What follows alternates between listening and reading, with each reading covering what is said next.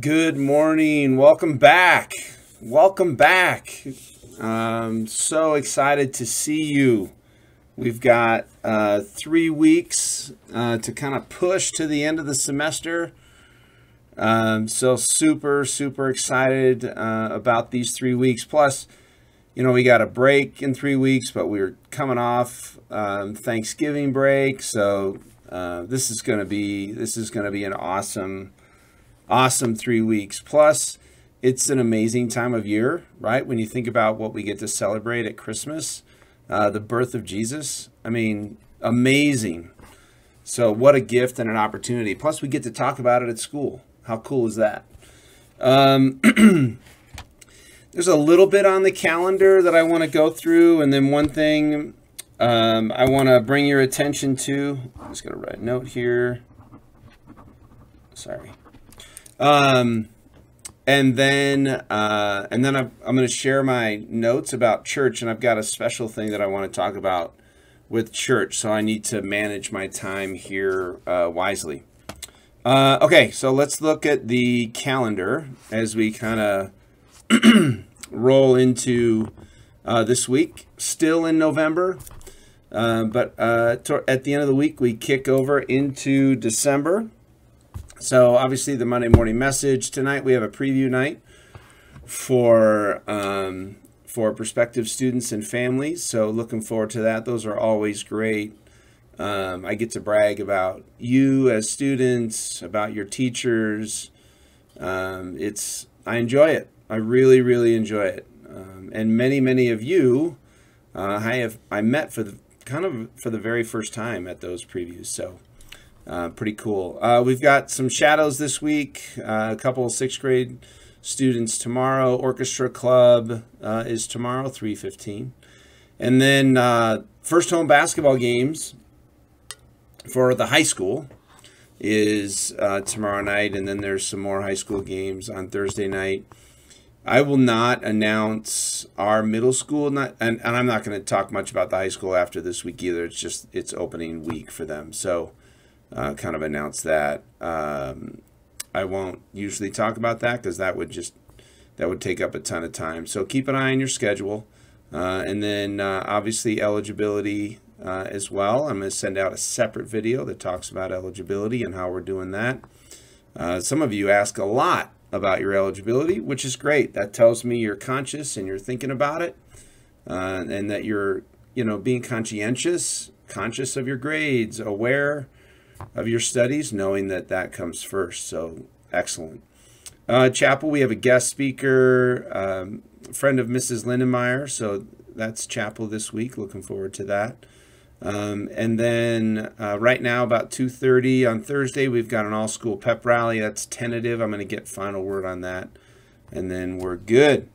So that's kind of the week uh, in the schedule there. You'll see some upcoming dates uh, for us. Uh, here's your cleanup crew. It's Aspen, Allie, Hunter, Jackson, Oliver, Cameron, and Pascal. There's your cleanup crew for this week. Aspen, Allie, Hunter, Jackson, Oliver, Cameron, uh, Peters, and Pascal.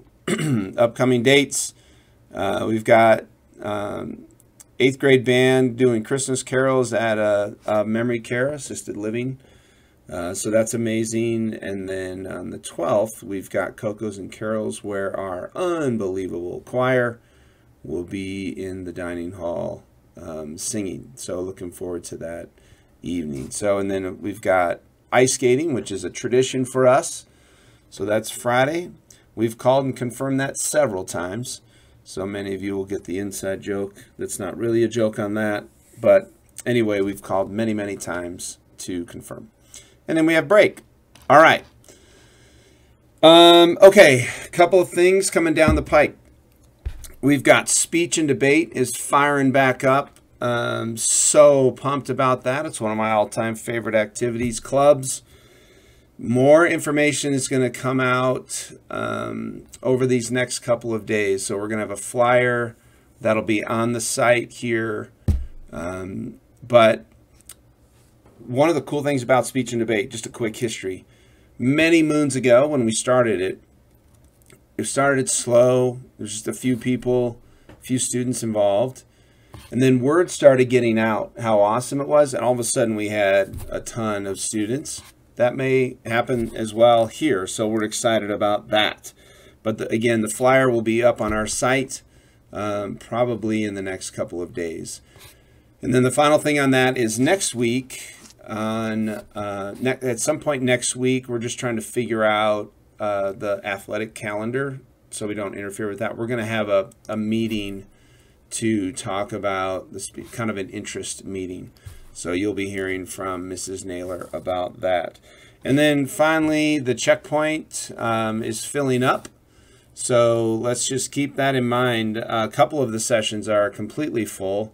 Uh, and so um, we'll send out some more details this week. Mrs. Rudy and I are going to meet this week, uh, probably today at some point, to discuss uh, what's next. So, anyway, that is pretty awesome. So, super excited about that. Okay, uh, I'm going to shift now into um, church. Quick word about church. So, Advent season, the four Sundays leading up to Christmas, so that started yesterday. So, I really hope that you were able to attend church yesterday and kind of get kind of the launch into this Advent season. Um, I came back from my trip on Friday, so I was able to attend church yesterday um, with uh, with my wife and and then my um, you know, my kids are out of state, so just my wife and I attended church, and it was great.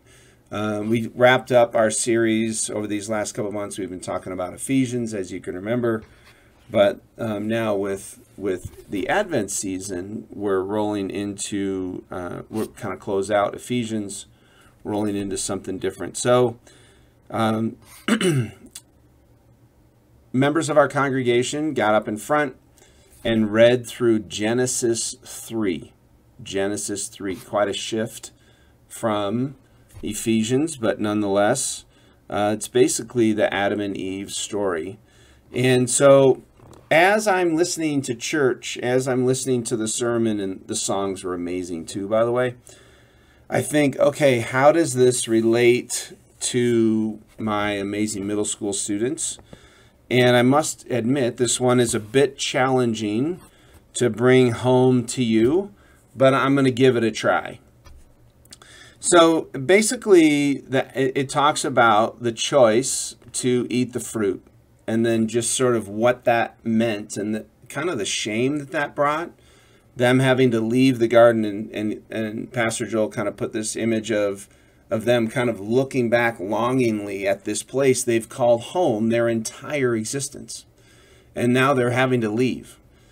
and and talked about, you know, we all have homes and and uh, we've moved maybe several times. Um, and so leaving a home can be challenging, especially if you're leaving friends and things like that, leaving your neighborhood.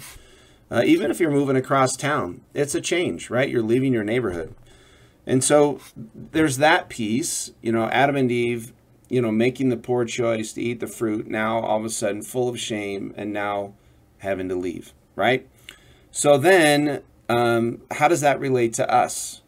Well, sometimes um, when we're we're thinking about our home, um, and then you think of Adam and Eve and how they're thinking about their home, it, it's kind of like, it's just kind of a home.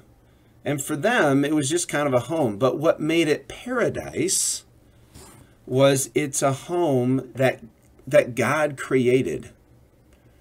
And so they were leaving this home that God created created. So when we leave, it's not for me like we've moved a couple of times and for us it wasn't the actual structure of the house. It was the fact that the memories that we had with either my wife or my kids or friends coming over, it was that that made it home. It was the memories. It was God sort of created this space where all these memories were created. So it wasn't it's not necessarily the structure of the house. It's it's the memories and the things that were done um, at the home.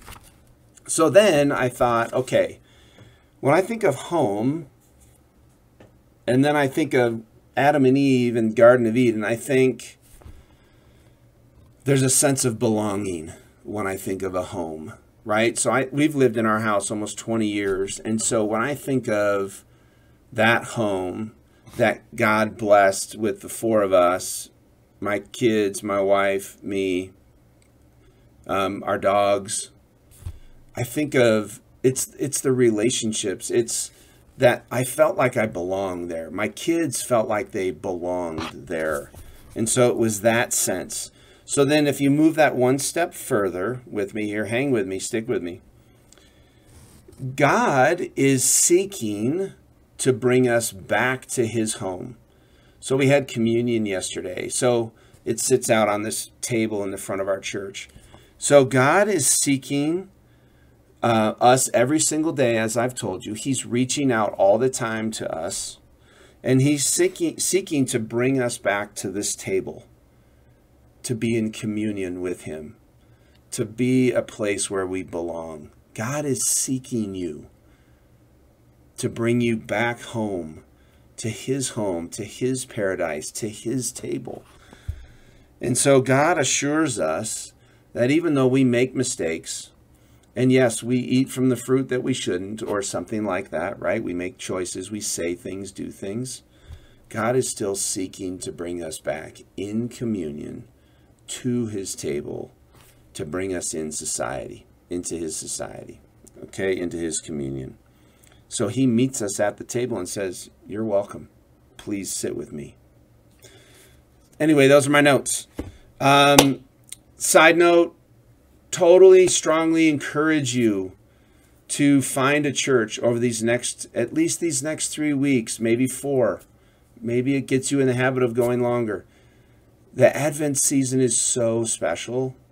I, I don't want you to miss it. I want you to be in community, that you're surrounded by those that love you, that care for you, and that you go to this Advent season. I challenge you to do that. Students, when you make this change and you go to commun- or uh, uh, Advent season, and if it's something that's new for you, please come find me and talk to me about it.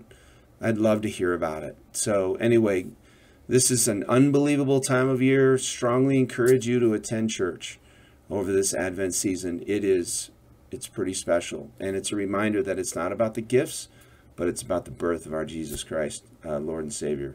So anyway, that was a little long but wanted to make that point. Thanks, gang. Love you all, and we'll see you in the halls and the classrooms. Bye.